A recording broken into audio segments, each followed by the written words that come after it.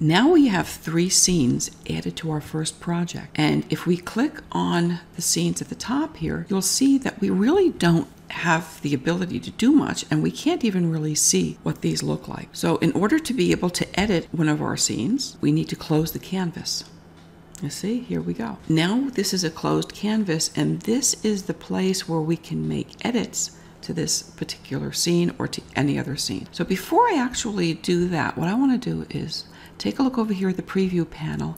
So now we have the elements visible to us and we can watch and see in real time when we make changes to the scene. Um, I'm going to take a look over here. We've got scene SWF, that's an animation um, area slide. We're going to click on the slide.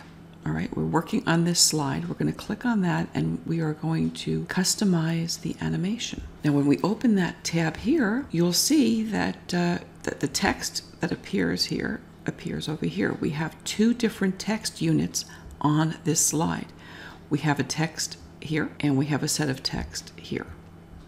Both of those are editable. So I may say, hi,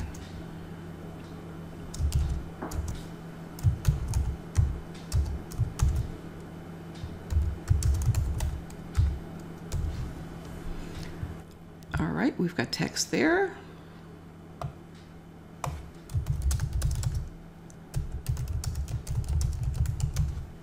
And text there.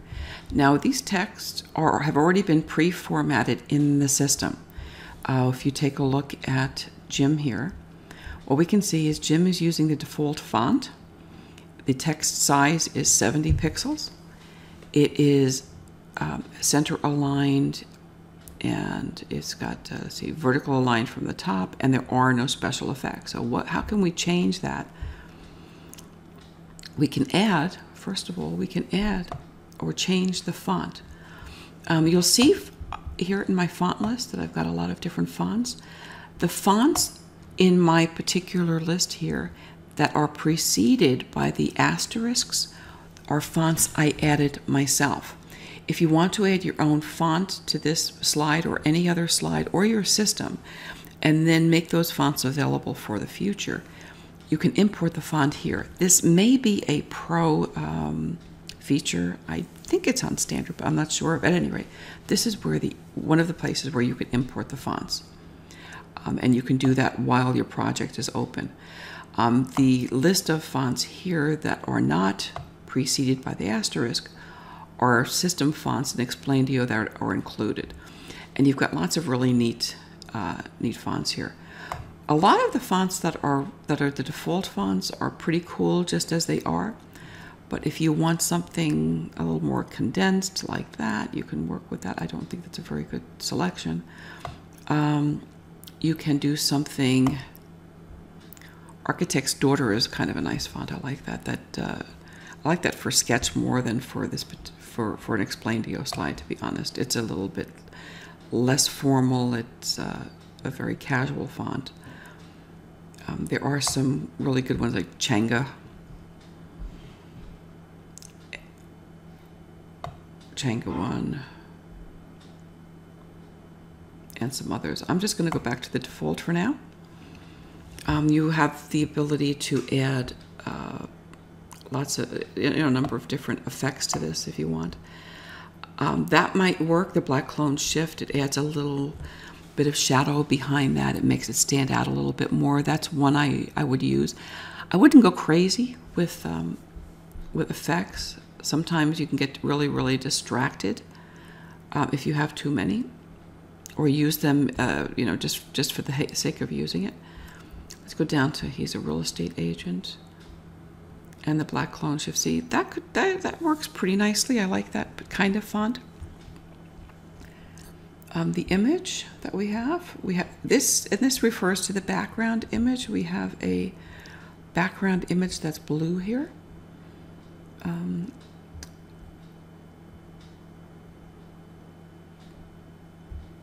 we don't have any videos here. If we wanted to add a video here, we could.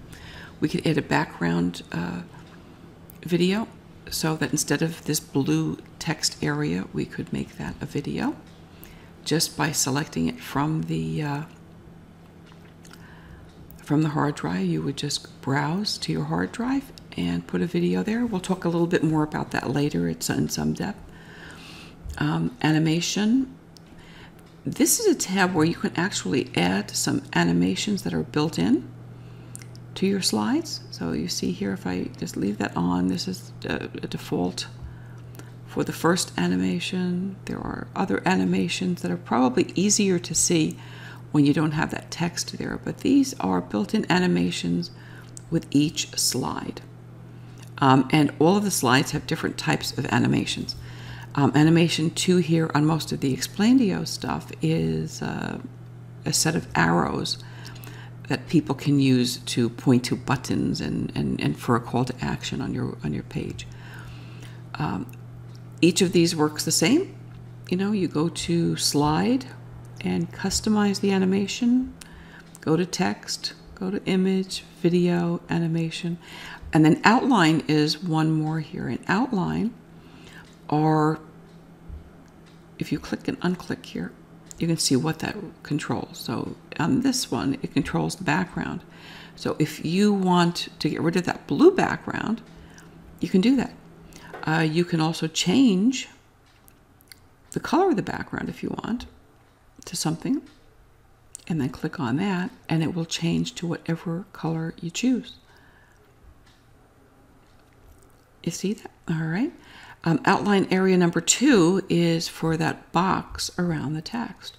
So again, you can get rid of that if you want, and I often do that. I will often just delete the text around, uh, or, or, the boxes around the text, and sometimes you can get a very, very nice effect like that. Uh, the other option you have also, again, is to change the color of the box. So you can do that just by, you can do that right here.